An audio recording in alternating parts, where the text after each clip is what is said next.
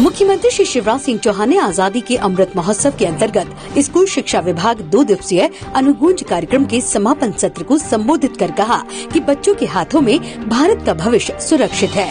बच्चों में प्रतिभा, योग्यता और क्षमता की कोई कमी नहीं है। बच्चों के समक्ष आगे बढ़ने के अनेक रास्ते हैं। मनुष्य जैसा सोचता है, वैसा ही बन जाता है। बच्चे अपनी प्रतिभा को निखार कर आगे बढ़ने का प्रयास करें।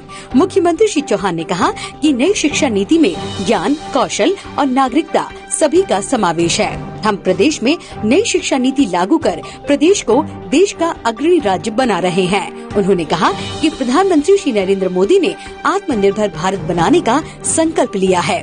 उनके नेतृत्व में हम तेज़ी से आगे बढ़ रहे हैं।